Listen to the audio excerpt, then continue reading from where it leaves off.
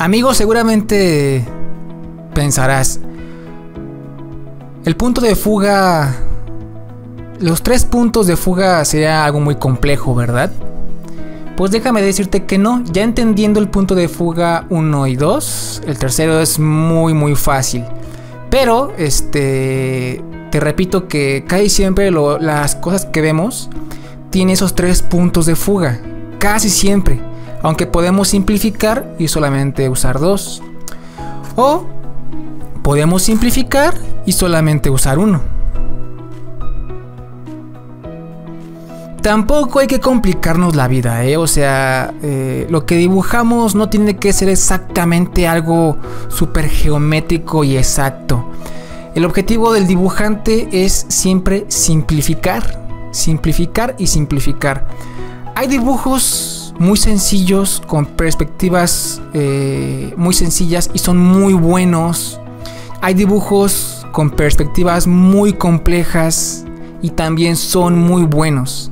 Es decir, que cuando eh, queremos usar la perspectiva, a veces queremos usar todo lo que aprendimos, ¿no? Es que ya sé usar tres puntos de fuga y queremos que nuestros dibujos siempre tengan tres puntos de fuga.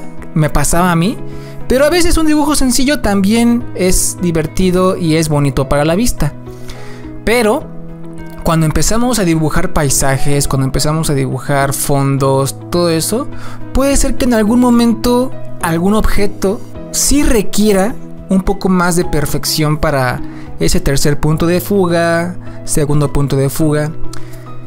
Y bueno, ahí es cuando tenemos que aplicar los conocimientos que estamos viendo.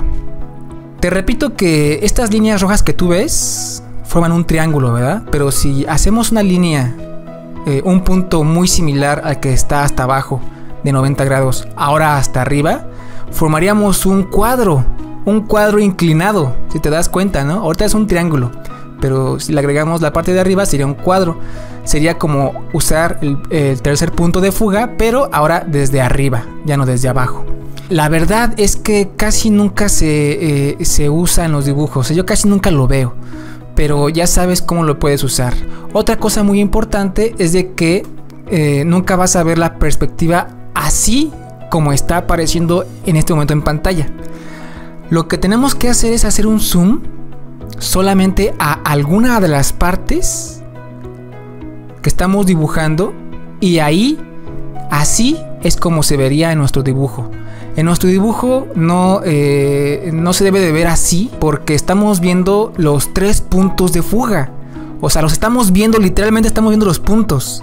Y esto este, no debe ser así, ¿no? Entonces hagamos un zoom para ver que en cualquier zona ahora sí podemos eh, usarla ya con puntos de fuga hechos.